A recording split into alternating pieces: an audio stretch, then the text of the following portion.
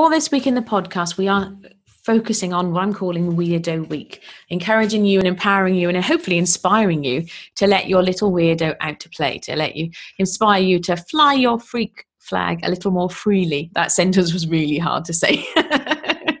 now, before we before we wrap things up tomorrow, um, I just wanted to have one more episode where I really threw on top of the, you know, we spent Tuesday's episode reminding that you are brilliant, and that was just me saying it. But what in today's episode, I wanted to remind you that God thinks you're brilliant too. One of my very favorite verses in the Bible is Zephaniah 3:17.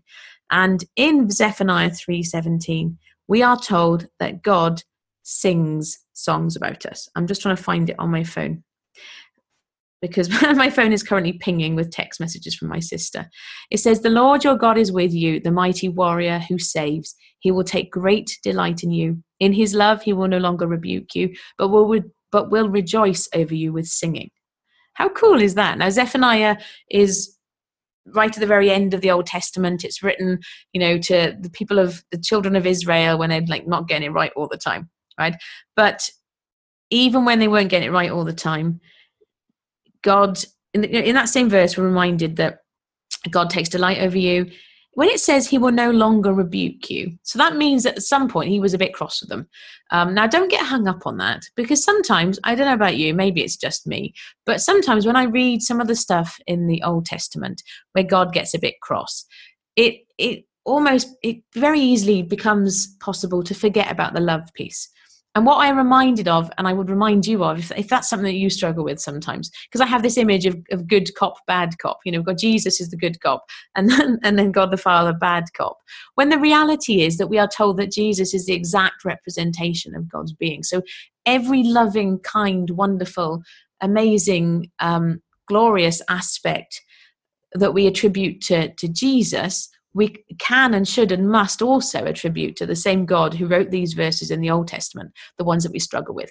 That's just a side point, um, but it's worth mentioning because when it, you know, I read a Bible verse where it talks about rebuking, and you know that's quite an oldie word anyway. But you know that reminder that Jesus is there alongside God, rejoicing over you with singing, and so if ever you have a time where you're a bit like, oh, I don't know, you know, it's okay, it's all well and good.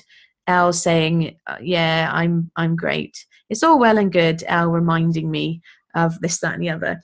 But really, yes, really, God delights over you with singing. Now, yes, he said it was written in the Old Testament to the children of Israel, but everything in the Bible is for us too. And so we can take those promises in the same way that we read prom- other promises in the Old Testament and we take them as ours, the same we can take that same reminder that He is singing songs as ours as well. And so, at the end of the day, the way I look at it, right, and this is especially for those days when you're struggling, right? If the God who spoke the stars into existence thinks you're so delightful, he's singing songs about you, then who are we to go, ah, no, I'm not brilliant? Yeah? Because like God is God and all the, the bigness and vastness and amazingness that that encapsulates. And he, del- he delights over you with singing. Just pause for a moment and actually ponder on that. God delights over you with singing. Now, I don't know what your singing voice is like. I like to think mine's reasonably okay, particularly when I'm belting out some Queen tunes in the kitchen. God, can you, I can't even begin to fathom what God singing would sound like. I imagine it must be like the most beautiful sound in the world, magnified into infinity. Wow. And He is singing with delight over you. And so I want you to remember that the very next time you forget that you are brilliant.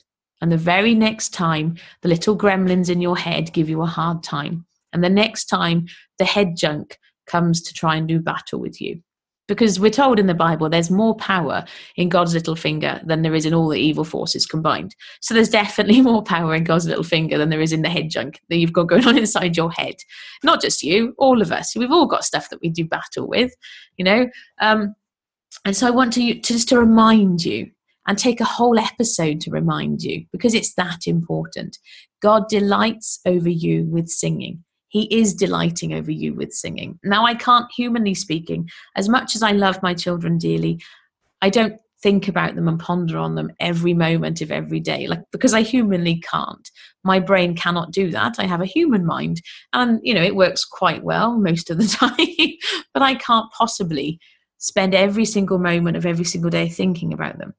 But god can you know we're told that we should you know i know i don't like the word should but in this context it works we're told that we we recommend it's recommended that we pray continuously if every single person on this planet, whoever was and whoever will be, um, and whoever is right now, was to pray continuously and was praying continuously to a human person, that human person would lose it. But no, we are told to pray continuously to God, and God, I rabbit on quite a lot. You may have noticed. Um, but as my dad reminded me one week in church, you know, I sometimes sometimes I have people who love me, like my husband, and one of my children in particular was, "Oh, can you just be quiet for a moment?" And maybe that, if you're a bit of a chatterbox, maybe you've been told, "Oh, can you just be quiet just for a moment?"